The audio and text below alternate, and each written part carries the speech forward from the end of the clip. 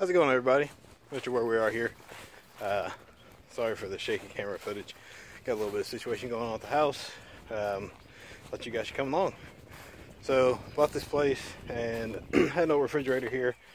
Decided that we should upgrade the fridge to a, you know, French door, all that fun stuff. Well, refrigerator had an ice maker, and when I looked behind the refrigerator before, I noticed that it was a copper line.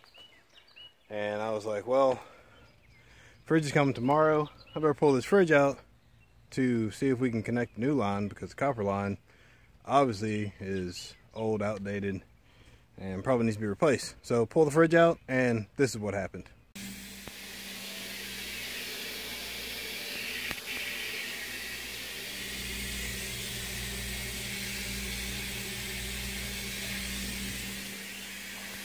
Yeah, you see water going all over the place. Yeah, that's how it goes. Yeah. And don't forget we got 303. Uh-huh, yeah. I just got home from work just to check this right quick.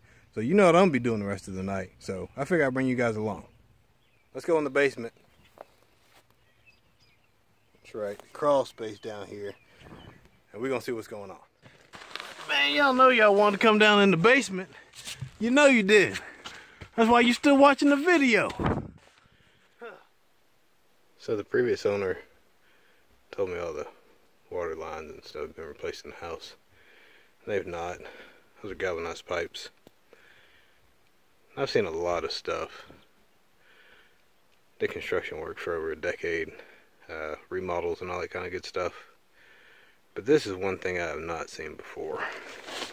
This water line runs right into the ductwork on this side comes out the ductwork on that side. That's a whole new level of laziness.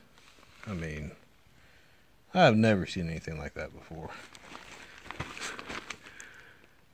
And of course, open junction boxes, I gotta get all those covered up. But, uh, yeah.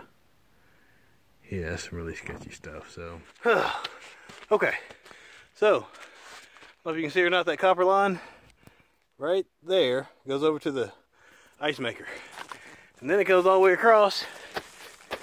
And do you think it's out into the water line? Of course not. It goes back in the floor. Look at that. Right under the kitchen sink. So I gotta crawl back out of this joint, back upstairs. So uh, yeah, I'll meet you guys back up top. Okay, that right there. Got the water shut off upstairs for the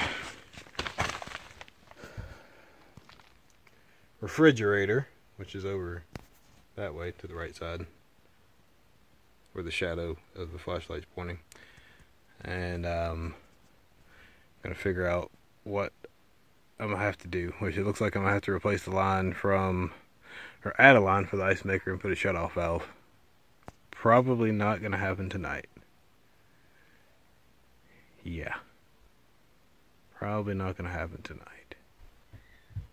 And right now there's no cold water at the kitchen sink, so that's definitely an issue. So I need to figure out something on that tonight. Supposed to be finishing cutting the yard, but you know, stuff always happens when you don't expect it to.